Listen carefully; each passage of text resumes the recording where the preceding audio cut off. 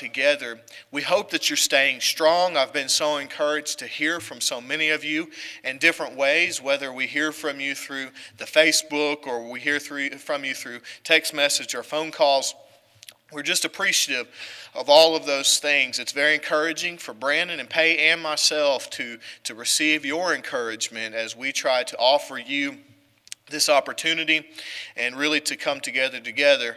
Remember, worship is so very important in our lives and our praise and spiritual fervor towards God.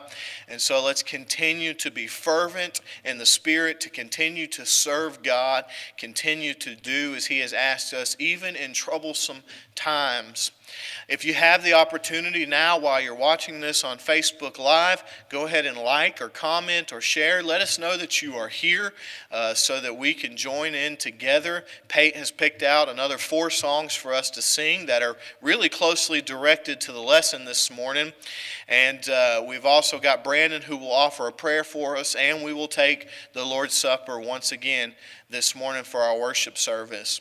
I trust that you've all uh, shared this and, and done those things below, and we're appreciative of that. So now that you're back and, uh, and together, hopefully in your living rooms there with your Lord's Supper uh, elements, the bread and the cup, and uh, with all of your Bibles ready to turn open and your voices ready to sing praise to God, we will go ahead and start our worship service. So I will turn it over to Pate so that he can lead us first in our song.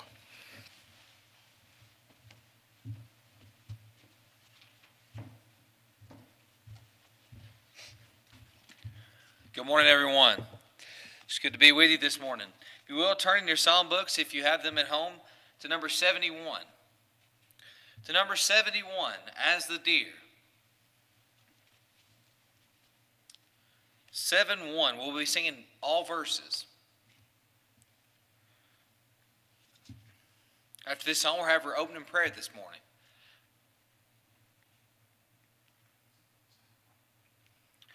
As the deer pants for the water, so my soul longs after you.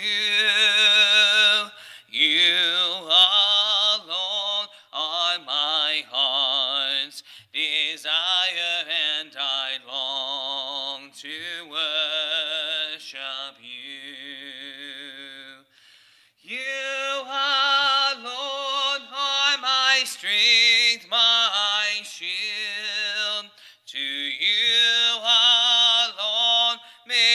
my spirit yield.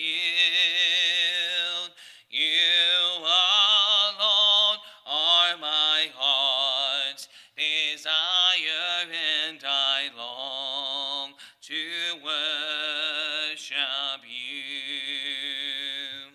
I want you more than gold or silver, only satisfy.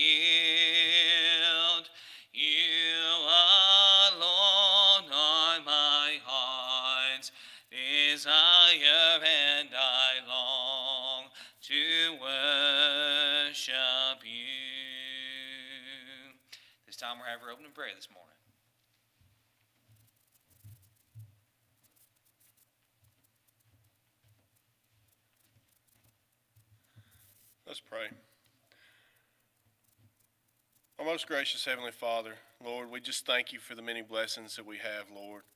Lord, we thank you for this beautiful day, Lord. And Lord, we thank you for the rain that we had uh, this morning, Lord. And as springtime comes upon us, it just makes your world so beautiful and, and flowers start to bloom. And Lord, we just uh, let us look at those things and, and realize how, how miraculous they are, Lord. And let us never take our blessings for granted. Lord, just uh, be with us as uh, be with us as we go throughout our week, Lord, and, and just uh, guide us and guard us and, and just direct us in the way that you would have us to go, Lord. Lord, watch over the those that are sick and shut in, Lord, and Lord, if it be your will, just uh, just uh, bring their wanted health back to them, Lord. Lord, just be with the men and women that serve this country uh, overseas, Lord, and Lord, just watch over them, and if it be your will, just bring them back to their loved ones. Lord, uh, at this time, be with the, the nurses and the doctors that uh, that are fighting this virus, Lord, and and uh, helping to to uh, pull those that are sick through. Lord, just be with them and guide them and give them the wisdom and the knowledge to uh, to just give give them the best possible care. Lord, just uh, be with missionaries across this world that, that do your works, Lord, and uh, on foreign soils and, and, and here in this great nation, Lord, and just be with them and, and may many great things come from the, the works that they do. Lord, just uh, be with our country, Lord, as we go through these things, and it's just uh, uncharted territory, Lord, and just be with us, be with the leaders of our nation, and Lord, just give them wisdom and guidance, and and Lord, uh, at the end of the day, Lord, just uh, just may this this world just become a godly nation again, or this nation become a godly nation again. Lord, just uh, be with the elders of this church, Lord, and Lord, just give them the the the guidance and the wisdom to to guide us in the way that you would have us to go, Lord. Lord, just uh, be with Todd as he presents us a lesson uh, here in a moment, Lord, and just be with him and, and guide him and, and, and just direct him. And may, he, may we be able to take things from that lesson to apply it in our lives, Lord, and to take it out into the world and to, to bring others to where they may know you, Lord. Lord, it's all these things that we ask in Jesus' name. Amen.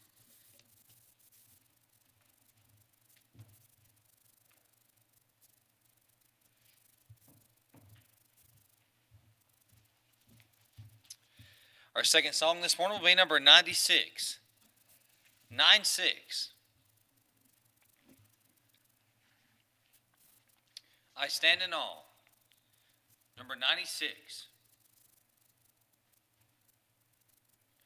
You are beautiful beyond description, too marvelous for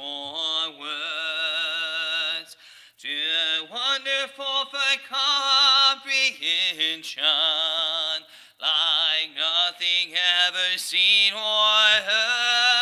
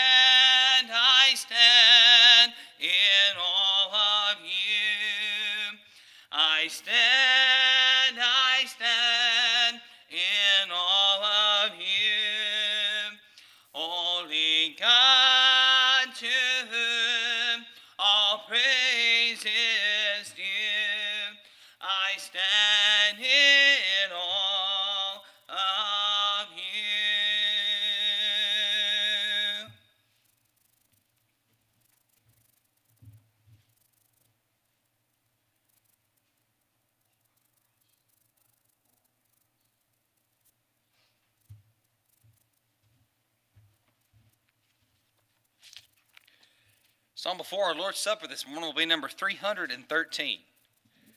313.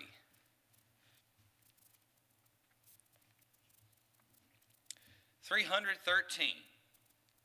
We'll be singing the first and last verses. The old rugged cross. On a hill far away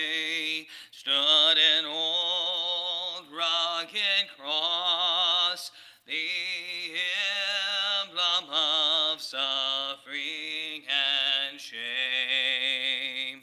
And I love that old cross where the dearest and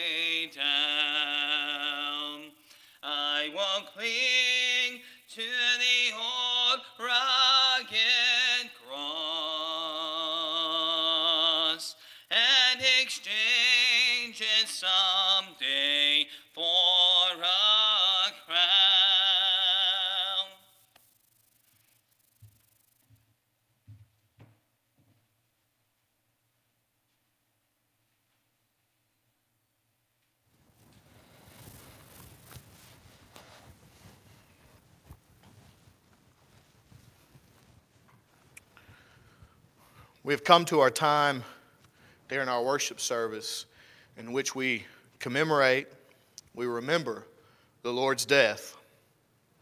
I want to read to you as we remember his body, the bread which we take, we remember the blood he poured out, which is represented in the fruit of the vine, the cup upon which we partake. I want to read with you 1 Corinthians chapter 11, verses 27 through 29 and Paul's encouragement and command for how we should treat these emblems and the way in which we take them. Whoever therefore eats the bread or drinks the cup of the Lord in an unworthy manner will be guilty concerning the body and blood of the Lord. Let a person examine himself then, and so eat of the bread and drink of the cup. For anyone who eats and drinks without discerning the body eats and drinks judgment on himself. As we offer these prayers for the bread and for the cup, as we partake of this Lord's Supper, let us examine ourselves and our faith, our spirituality toward God, and make sure that we are in the right place, that our heart is focused on the right thing and that at this time especially, we have nothing in our minds but remembering the death, the great sacrifice that our Lord gave to us, where He gave His life so that we can have life. Will you pray for me for the bread? Father God, we thank you so much for the sacrifice that your Son has given us. As we take this bread, Father, may we remember vividly with great imagery the sacrifice that your Son gave us. May we be convicted, examining ourselves, and taking it in a worthy manner, pleasing to you and, uh, and helping in our pursuit to be more like you. May we remember now this bread, the body of your Son, Jesus Christ, who hung upon that cross. In Jesus' name I pray. Amen.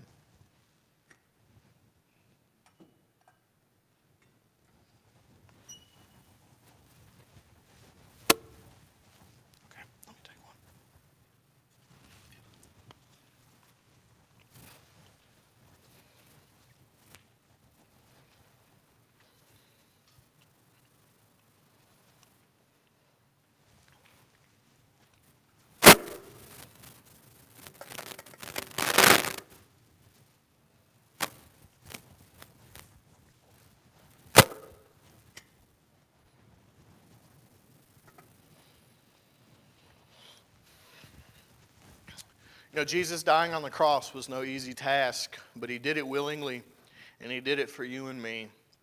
And now we have opportunity, and so often I believe we rush this opportunity. We try to get through it as fast as we can. Maybe it's for fear that we think our mind is going to go on to something else, or maybe it's just because it's been habit to just rush through this process of taking the bread and the cup. But I want us to slow down this morning having taken the bread and remembering and understanding it to represent the body of Jesus who hung upon that cross, now we come to the point where we remember the blood. The blood that was not spilt. Uh, spilling implies an accident. But the Lord purposely poured out his blood for you and for me so that we can have life and life everlasting. But in order to have that life, we must be presented before God in all purity and holiness and righteousness. And, and Jesus has provided for us his cleansing blood so that we can be presented in a pure and holy way. But we must live righteously in order to go before God's throne. And so, as we take this cup, let us slow down our minds and our thoughts and for just a moment remember intentionally the death that Jesus went through as he hung suspended between heaven and earth upon that cross and his blood poured out. This blood which we take the cup of, this fruit of the vine representing it. Will you pray with me now? Father God, once again, we humbly bow before your throne. And God, we're so thankful yet sorrowful over the death of Jesus. God, we're thankful because we know that through his blood we have the ability to be cleansed of all of our sin but we're sorrowful because it's our sin that caused him to have to pour that blood out. And God, we just pray that we never take these things for granted, but instead we slow down and are intentional about examining ourselves and our faith towards you, about remembering the sacrifice that Jesus gave, about thinking upon it intentionally, so that we will never forget, but always remember the great sacrifice that Jesus willingly gave on our behalf. In Jesus' name we pray. Amen.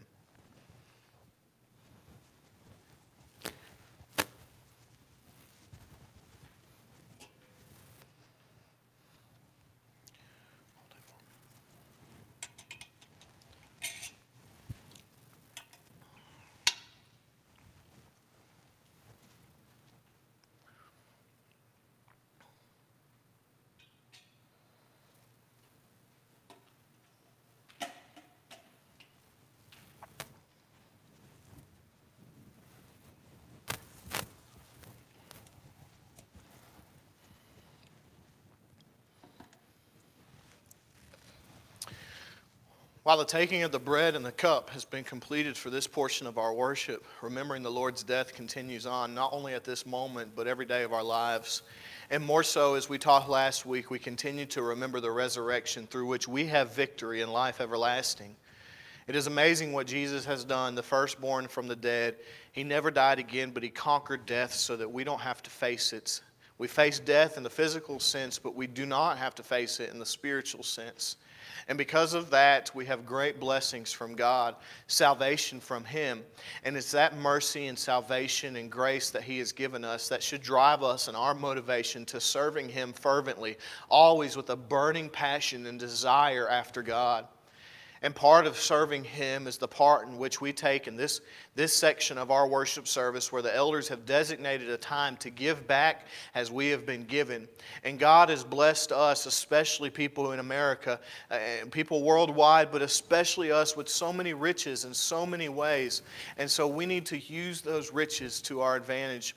You know, when I say that, it doesn't mean that God favors us over anyone else. It just means that we have the opportunity now, through the blessings we have and the material things that we have, to give back to the kingdom of God. And the kingdom of God will continue to grow and bless the lives of so many.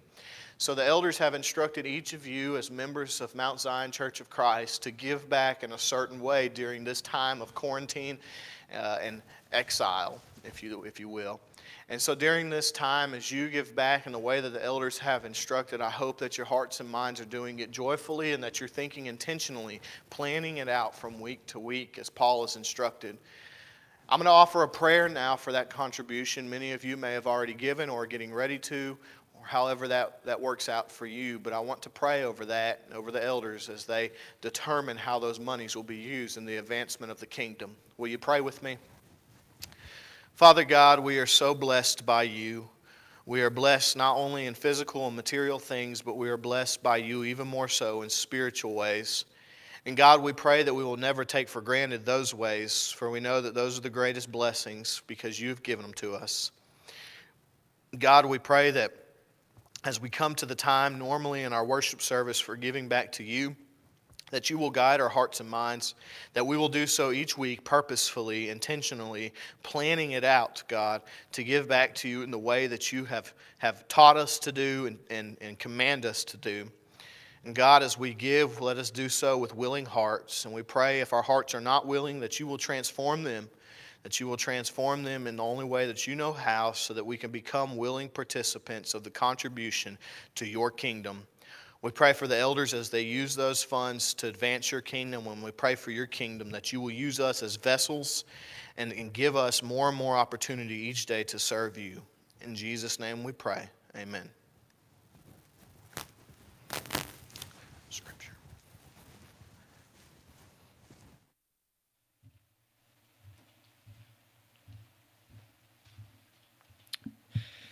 If you will turn in your Bibles with me to Philippians chapter 3.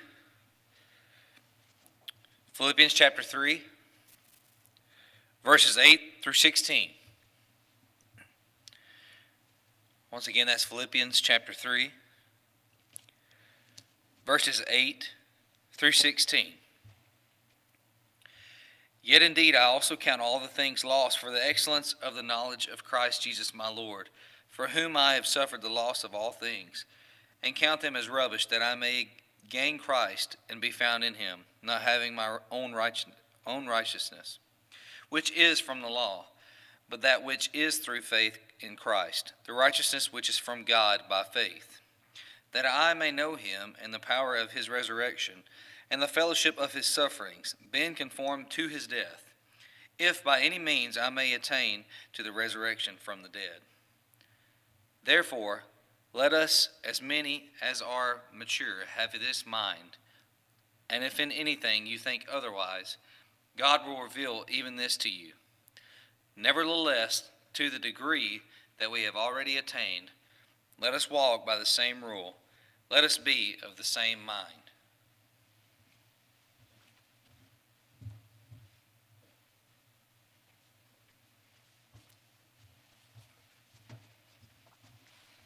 Good morning. Good morning. Well, I just pretended like I heard you and woke you all up, and I'm so glad that you've joined us on Facebook Live. Maybe you're watching back on YouTube or even listening on our podcast. Thank you so much for being with us this morning during our worship service. I hope you've enjoyed uh, so far the, the worship that we have done through this avenue. I know it's not the same, but isn't it amazing that God has at least blessed us with these technologies so that we can worship together even in this way?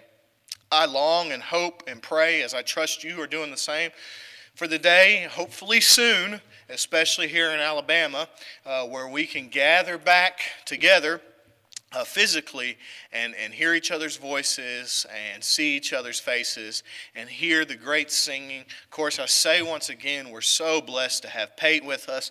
Uh, he is a wonderful song leader, and I'm thankful for his willingness to show up each Sunday morning and to uh, be with us as we sing together. I hope that you were singing at home in your living rooms and uh, with your families, wherever you might be at, and enjoying the worship as we praise and honor and glorify God.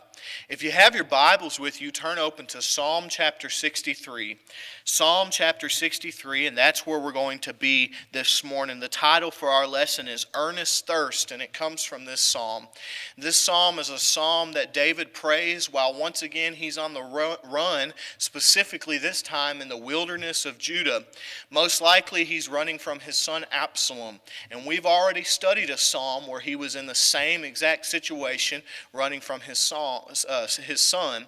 So it is possible that these Psalms, Psalm 63 and Psalm chapter 3, are written at similar time periods in David's life.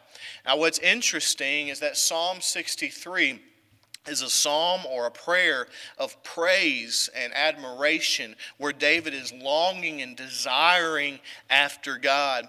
Psalm chapter 3 is more of a prayer to petition God. He asks God for certain things. What's fascinating about Psalm 63 is that David never makes a petition in this psalm. He makes a petition in Psalm 3, but not here. Instead, he expresses his longing for God's presence and praise and joy and fellowship and confidence in salvation without asking for a single blessing. And that is so profound to help us in our lives today to turn upon, uh, to turn to God and trust and fully relying upon Him. Some scholars say that this psalm, chapter 63, was used by the ancient churches whenever they would gather together on Sunday mornings. They would sing together some of the psalms, and this one was considered the morning hymn or the morning song, where they would sing this one first to kick off their services because of the great language of praise upon uh, praise to God and desire after Him. John Chrysostom, who is an ancient church father, writes that this psalm here is the spirit and soul of the whole book of Psalms. It might be one of your favorites. It might be one that many people are very familiar with. It's a wonderful, wonderful, wonderful psalm, and it has beautiful language to help us to understand what it means to deeply desire after God. David, in his life, when he's writing this, is facing so many pressures. And we too face many pressures in our life. We are facing an immense pressure right now at this moment with this quarantine and the virus that is going on. And this prayer here teaches us to earnestly seek after and thirst for God. You see, it teaches us that when the pressures of life surround us in defeat, people of God earnestly seek and thirst after Him instead of relying upon the things of this world. Now, David teaches us many, many things in this psalm, but I want to focus on three points this morning. And they're broken down into the sections verses 1 through 4, then verses 5 through 8, and verses 9 through 11. I like the one scholar who said that verses 1 through 4 is David talking about God being his, uh, God being his, his desire. In verses 5 through 8, he says God is his delight. In verses 9 through 11, David says God is his defense. He is his desire and his delight and his defense. And that's exactly what we see this morning let us read the psalm and then we'll make point of the three different things I want us to review. The three points that David teaches us on how to rely fully upon God. It says, O God, you are my God. Earnestly I seek you. My soul thirsts for you. My flesh faints for you, as in a dry and weary land where there is no water. So I have looked upon you in the sanctuary, beholding your glory and power. Because your steadfast love is better than life, my lips will praise you. So I will bless you as long as I live. In your name I will lift up my hands. My soul will be satisfied as with fat and rich food, and my mouth will praise you with joyful lips. when I remember you upon my bed and meditate on you in the watches of the night. For you have been my help, and in the shadow of your wings I will sing for joy. My soul clings to you, your right hand upholds me. But those who seek to destroy my life shall go down into the depths of the earth. They shall be given over to the power of the sword. They shall be a portion for jackals. But the king shall rejoice in God. All who swear by him shall exult, for the mouths of liars will be stopped. In verses 1 through 4, David displays an intense conviction for God. He shows his longing desire after God, that despite the pressures that David faces, his sole priority is to seek the Lord. This is the same desire that we must have. This is the same priority that we must have. That despite any of the pressures that we face in life, no matter whether it's tribulations or troubles or transgressions or iniquity, no matter what trouble we face in life, our priority is to always seek the Lord. David has fled from his throne. He's left behind his housing, his kingdom, his wives, his own, his, his own son, Absalom, who he loves, is after him, trying to end his life and remove him from the throne. And yet, in all of this, David wasn't seeking for any of those types of things. Instead, he was seeking for the Lord. You notice he wasn't praying, God, give me my wives back. God, give me my kingdom back. God, God, stop my son and make him love me. He didn't pray for any of these things. Rather, he prayed, I shall seek after you. My soul thirsts for you. My flesh faints for you. Your love is better than life. I will bless you. David's entire focus, his entire prayer is not a petition for removal, it's a petition for more from God. And so his entire all of his words in this prayer are pointed toward God. He longs after God. He wants more of God. He desires for God. And this is the same desire that we must have. It's an amazing statement. You see, because we try to fill our lives and our emptiness so often with so many things of this world.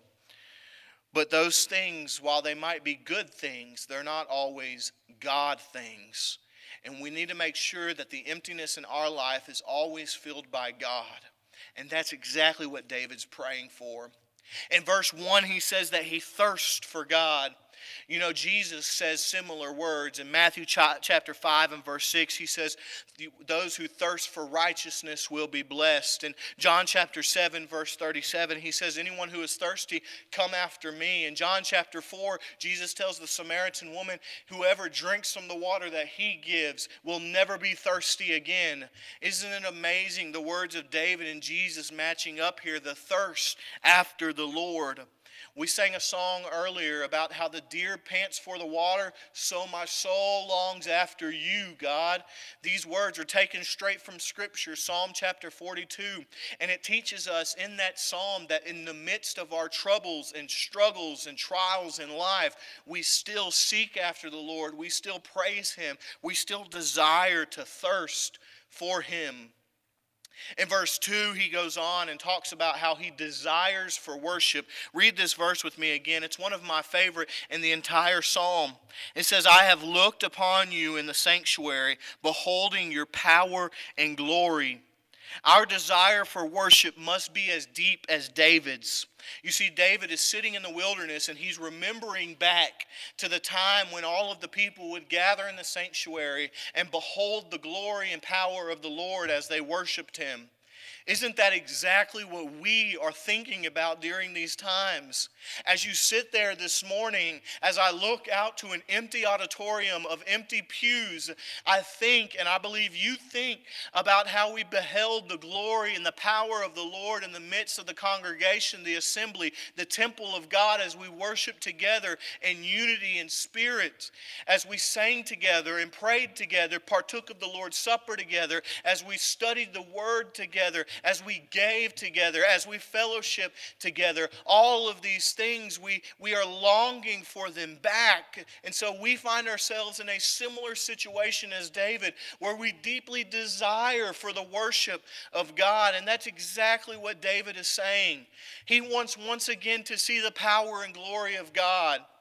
Uh, it doesn't, the Bible isn't explicit about when David saw those things, but we know that this word glory is the same word that was used in Exodus chapter 40 and 1 Kings chapter 8. Whenever the, the glory of God filled the tabernacle in Exodus and it filled the temple that Solomon built in 1 Kings 8, where the glory of God fills that temple and it's and the glory of God has always been and will always be his special presence with his people.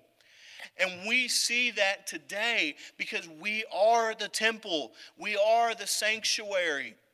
And so, therefore, we see the power and the glory of God together when we worship. See, to David, worship wasn't a habitual thing, it wasn't just a habit or routine.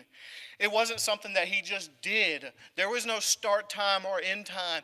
David worshiped because he desired to worship. He longed to worship. It wasn't boring to him, it wasn't monotonous. It wasn't just something to do. It wasn't even something he did because he was a follower of God. It was something he wanted to do because he loved God.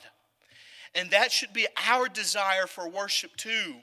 It's not something we do because we're followers of Jesus, because we're baptized Christians. It's something that we want to do because of those things, because of what Jesus has done for us.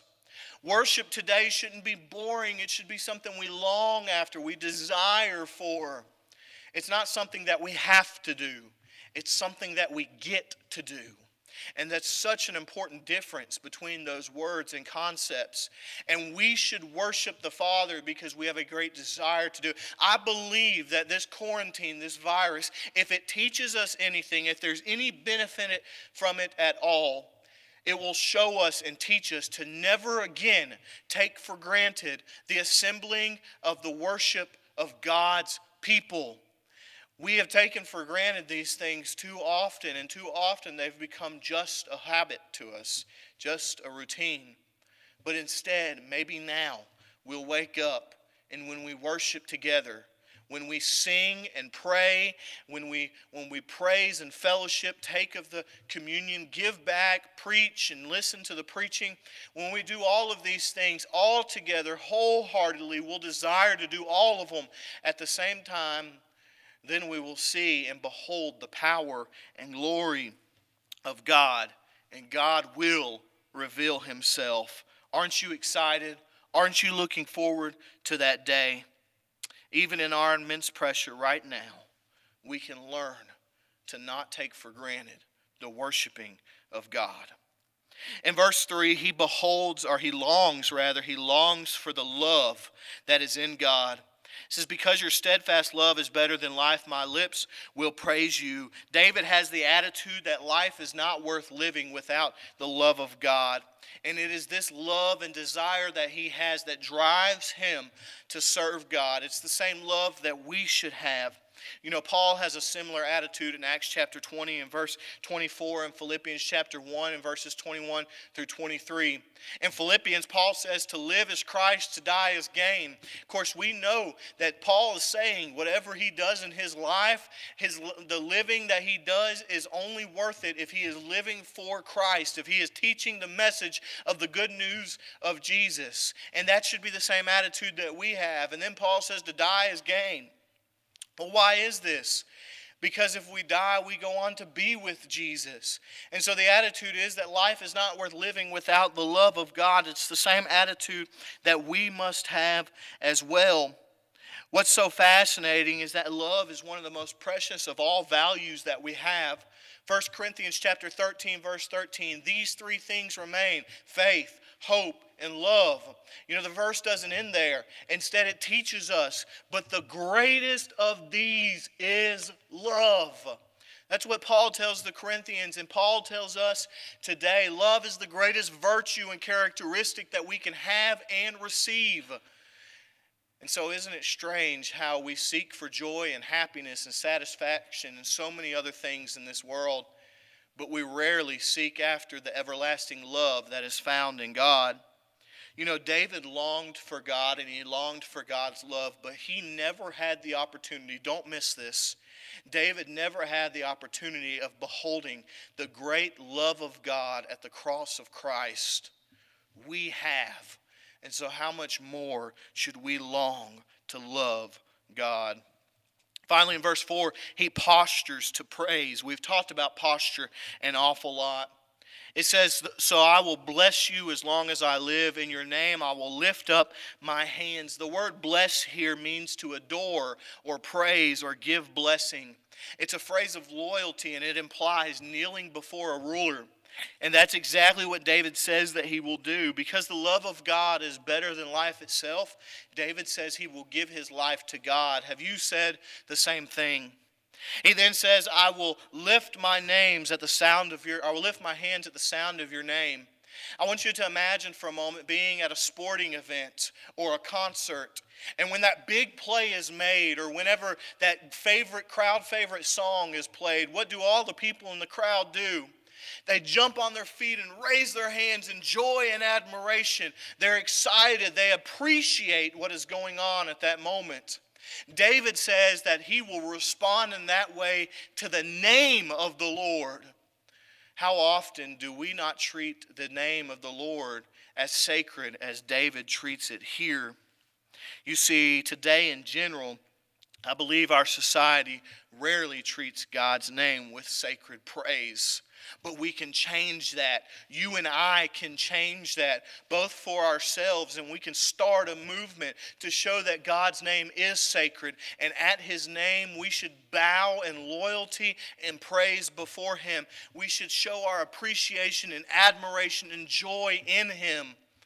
And so, how do we change that? By one being an example and taking not taking his name in vain but instead understanding that at the name at his name we will we will lift our hands in praise to him and then we teach with bold love towards others why it is so important to have a posture in our hearts towards praise to God David verses 5 through 8 shows that God's presence permeates every area of his life.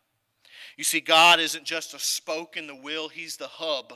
God isn't just a slice of life who rounds out your pursuits, but rather, God uh, permeates every area of your life. He's at the center of every decision you make, He's the Lord of every relationship you have. There is no area in your life, whether it's your business, your family, your education, or whatever, where God is not to be an integral part. There is no division between the sacred and the secular. All of our life is to be related to God. And that's what these verses show. God's presence permeates every inch, every ounce, every essence of David's life. In verse 5, he says his soul is satisfied by God. And the imagery he gives here is a contrast to verse 1, where he says that he thirsts after God. If being thirsty wasn't as good enough a metaphor, well, this one is here, where he says that his soul is feasted because he is so satisfied by God. This here begins to show that David's praise is now exuberant, it is increasing, and it is great. In verse 6, you see that his thoughts are upon God. He says, I remember you upon my bed and meditate on you in the watches of night. See, David's appetite for God was sharpened and strengthened in the wilderness. He was made strong because of the troubles that he went through but it is now more strong uh, because of the wakefulness of the watches of night. You see, this is an expression here to the slow progress of the hours throughout the night. Have you ever stayed up through the night by yourself? Do you notice how much louder and slower the clock seems to tick? How time just slowly moves by. Maybe you've been restless before. David here is restless. His enemies are in hot pursuit, they are on his tail and they are wanting to kill kill him and remove him from his throne. And so, David, being restless here, eh, he, he faces both the wilderness and the wakefulness of the watches of night. And it's during these times that he enlists his thoughts to think about and meditate on God, to think about the Lord. David, you see, is undoubtedly busy. It's safe to assume that he has many stresses and worries and weariness in his life. He could have easily brushed off God and saying, I don't have time right now, or I'm too tired right now, or I'm too weary or stressed to focus on you right now. I've got to focus on my situation. I've got to take care of these people. I've got to get back to the kingdom and rule on the throne. But instead, David doesn't do any of that because David makes it a priority to spend time alone with God. In our times of greatest despair or troubles or stressors or worries, do we make it a priority to spend time alone with God? It's been once said that there's three types of Christians in any gathering. There's the Christian who professes Jesus Christ, but their profession is false because their life doesn't look anything like Jesus. They live in the world, they're of the world, they're part of the world, and they say Jesus' name, but they don't follow him at all. Then there's the other Christian who follows at a distance. They're careful not to get too close because it would be too hard, and they're careful not to get too far away or else they'll feel like they're lost. But instead, they have a hand that is dipped in the pot of the world and a hand that is dipped in the pot of life. And then there's that third Christian, the third Christian who is completely devoted. Whether sunshine or storm, their life cleaves for God. They are completely surrounded by God and embrace God with complete communion communion and conviction and dedication toward Him. These people want God. They want Him so intensely because they know that He and He alone will satisfy the deep longing and desire of their hearts. David was a person like this, where he desired God above everything else. And that's what led him in verse 8 to show that his, or verse 7 rather, to show that his help and his safety are in God. You see, David is filled by God. He thinks on God and he's safe in the presence of God. He's not simply referring to physical safety, though. Of all people, David knows that physical safety is not guaranteed. Instead, he's talking about the safety of his soul, spiritual safety. This entire psalm is about his soul. Look at verse 1 and verse 5 and verse 8. It completely surrounds the spiritual safety and help of God. It's not about the physical. With this understanding, David uh, once again makes a reference to where his joy comes from. In verse 5, he says his lips will sing praise of joy. In verse 7 here, he says that in the shadow of his wings he will sing for joy. David recognizes that joy doesn't come from the world, but his joy comes from God. And today, our joy comes from God. But you know, joy is a strange word for David to use in his current predicament, isn't it? However, even though David's in this pressure, he uses this word. David, because David knows that no matter the pressures of life, he can always praise and sing joy to the Lord, having joy in his life because of the great provision of God. And we too can have joy despite the pressures of life because of the provision of God. And this allows us to say the words of David in verse 8, where he says that his soul clings to him. To cling in the Hebrew, once again, means to, to be loyal in relation to affection. And here this word cling is the same Hebrew word that's used in Genesis 2:24 to describe the marriage relationship, the marriage covenant. It's also the same word that Ruth uses in her determination to stay with Naomi in Ruth chapter 1 verse 14. Here it literally means to cling to with a hot pursuit. David follows after God like a soldier clings to the very shield that he is carrying.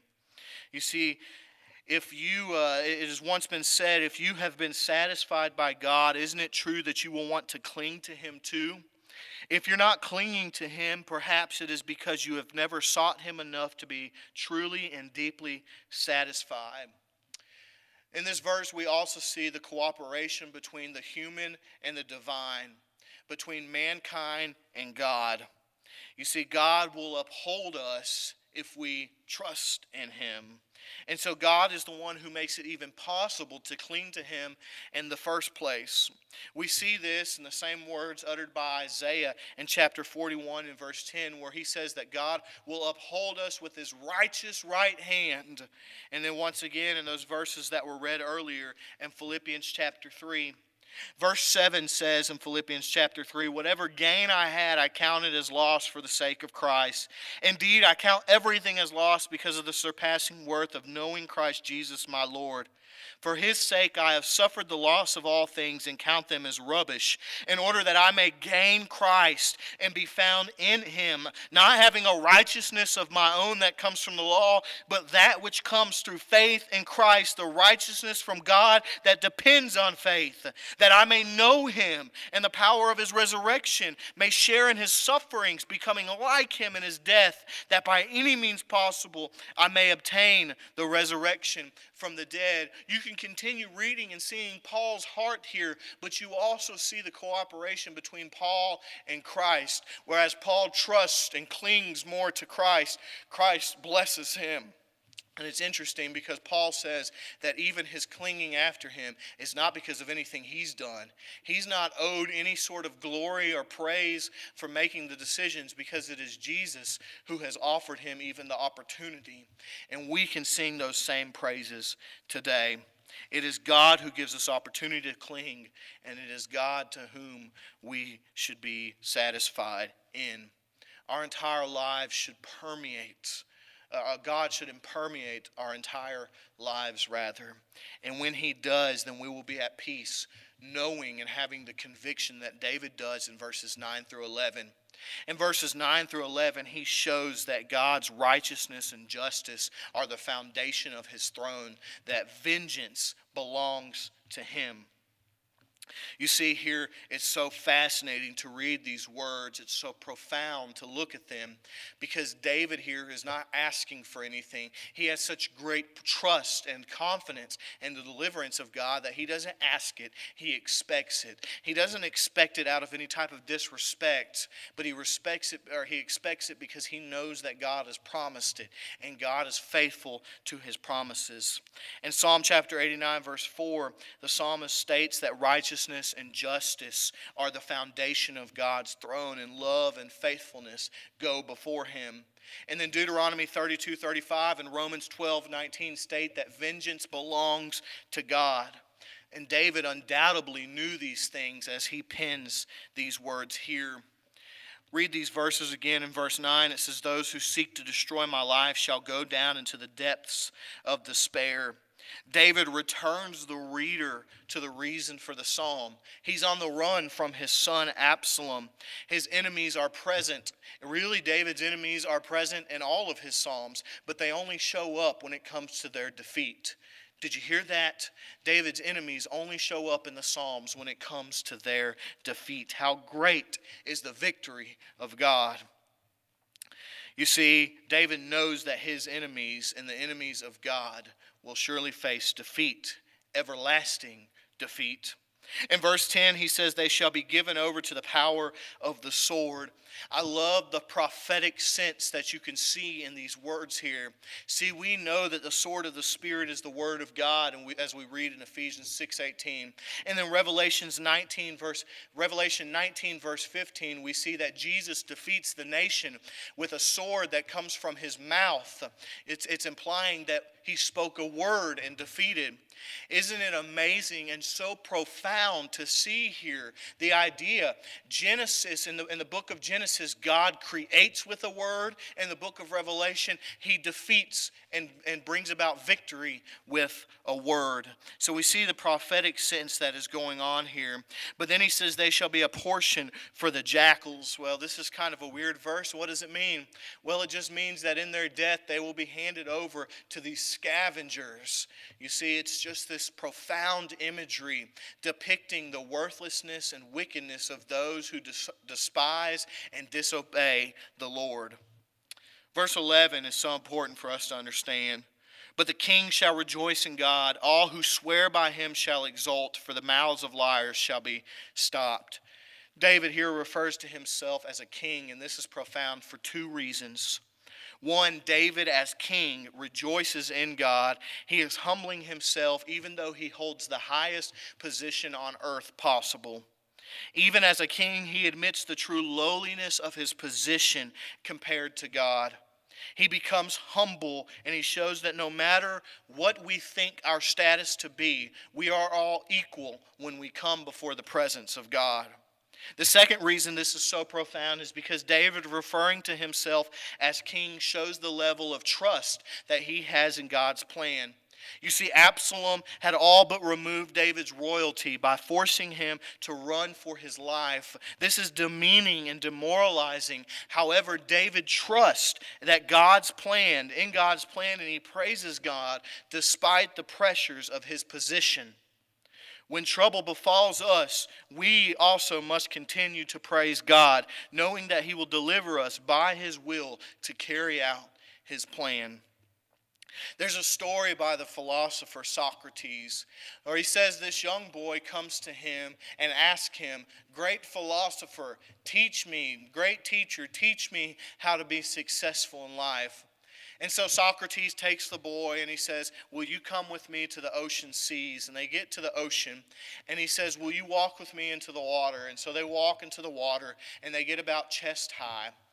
As they get chest high, Socrates reaches over to the boy, one hand on his head and one hand on his shoulder, and he pushes him down under the water. And the boy begins to struggle for, for life and for air as he, as he is grasping as Socrates holds him under. After some time, Socrates determined that the boy could no longer go on under the water, so he lifts him out, out of the water. And the boy replies angrily and confused back to the philosopher and says, Why would you do such a thing? What were you doing to me? And Socrates says, While you were under the water, did you think about your mom or your dad, your family? Did you think about food? Did you think about money or anything like it? And the boy says, How could I? The only thing I could think about was air and life. And Socrates said, When you desire success as much as you desired air, then you will be successful. While success is not what we are after, our desire for God must be this strong. We must live and breathe and think nothing else but our earnest thirst for the Father. The longing of these verses in Psalm 63 is not the groping of a stranger feeling his way toward God, but it's the eagerness of a friend, almost a lover, to be in touch with the one he holds dear. Jesus expressed this same truth in Matthew 22, verses 37 through 39, where he says, The greatest commandment, the greatest thing you can do in your life is to love God with everything that you are and to love your neighbor as yourself. You know, we can only love God as we should when we yearn for Him with our entire nature. There's a quote by a man named Don Williams in the Preacher's Commentary that says, and listen to this because it struck me as I read it this last week. It's so, so convicting. Many Christians go through life with a low sense of spiritual vitality. Our days are largely consumed with secular pursuits Prayer and Bible reading are one a day fast food items. Real life is not life in the spirit, but it's life in the flesh. It's reaching here and there and doing this and that and fitting in a Christian activity largely just to meet our social needs. We may close the night in prayer as a spiritual glaze over our real interest, but there is no manifest heart hunger for God. We must change this. We must be constant in our pursuit for God. Read those words on the screen. We must be constant in our pursuit for God. If we desire to be His people, then our life must be about Him. And it is times in the wilderness where we learn these truths, most often the greatest. It's those valley experience or periods in our life where we face hardship and confusion and feeling overwhelmed and incompetent. You see, all these things can be a start of a wonderful revealing of a relationship with God.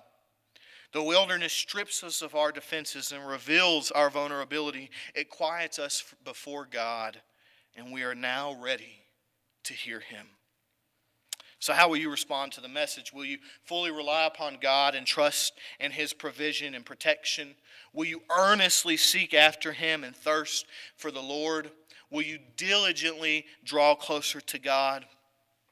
The other day, Annalena and I had received these journals in the mail that we ordered that will help us to not only grow together, but grow closer to God as a married couple. These journals will be super useful and helpful as we grow. But my first thought when we received them was not only how excited I was, but it was also how we were going to start these things after things started to slow down a little. We were going to start them after the virus, and then after school ends, and after we start gathering back, and after VBS takes place. We'll start it all then when things begin to slow down. But I realized soon after that that things will rarely slow down. I realize there's no greater time to begin a journey with God than the now. Our days will never be slower or less busy or any calmer. We will never be under any less pressure or face less troubles. Every day of our lives, we are either in a storm, leaving a storm, or getting ready to enter a storm. So the time for God is now and every day. We must learn not to fit God into our days, but to fit our days into God. So today, will you commit to following the Lord? Will you seek after him? Will you allow him to penetrate your life? Will you trust in his righteousness? Will you trust in his vengeance? Will you trust in his justice? Will you earnestly thirst for the Father?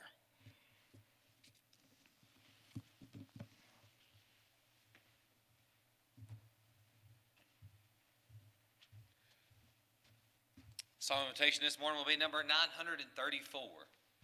934, we'll be singing the first and last verses.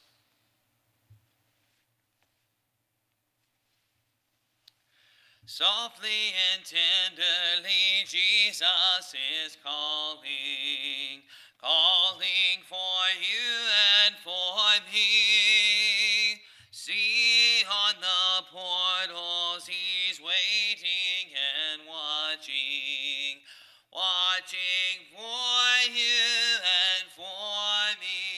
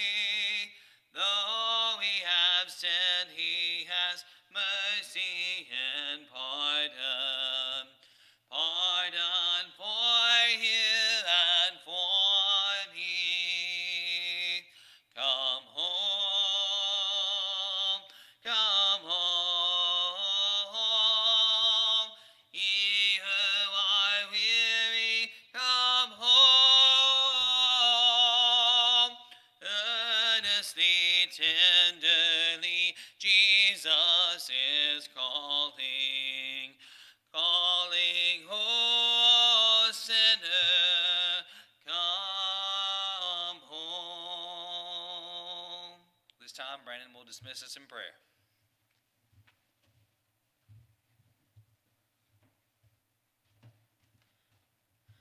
Let us pray.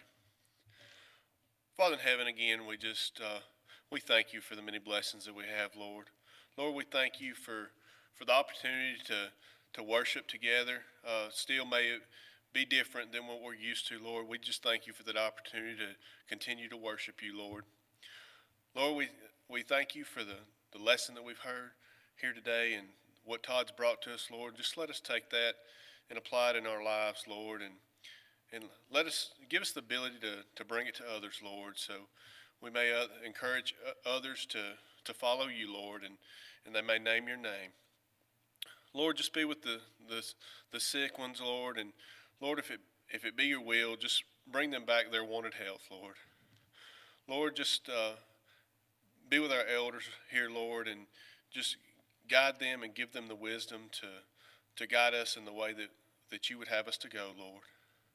Lord, just uh, be with us as we go throughout the rest of our week, Lord, and Lord, let us just always uh, remember to, to be a light. And when we're faced with difficult situations, Lord, just give us the, the strength and the patience and the guidance to, to just be a light, Lord.